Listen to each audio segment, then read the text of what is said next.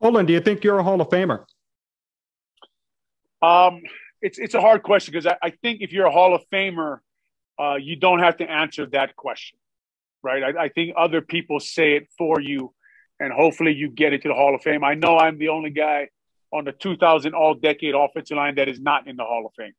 Uh, so that is for other people to decide. That's not for me to decide. Do I feel like I played on a Hall of Fame level? Obviously, if you ask the guy, yes, I feel like I, I was a good football player. I feel like I was a good center.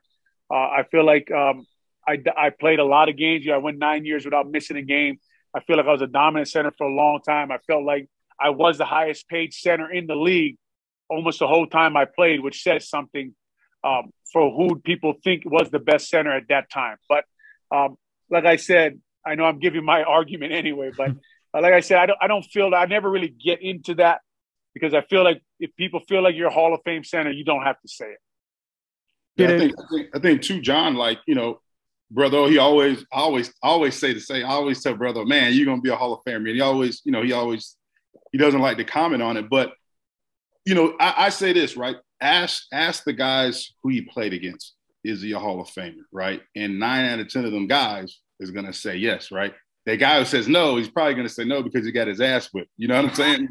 But, as nine out of ten guys. You know, in terms of the preparation, right? In terms of what Olin did, in terms of his leadership and the way he upheld the culture on our team. You know, I mean, I'm a huge advocate of, of, obviously being his teammate, but I'm not being a homer, but I see what he did firsthand, right?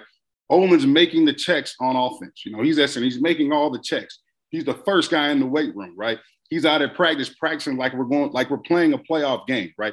He was a pros pro, and a lot of us in that locker room, and I can attest for you know, all our teammates, and I'll speak for them on this on this right here.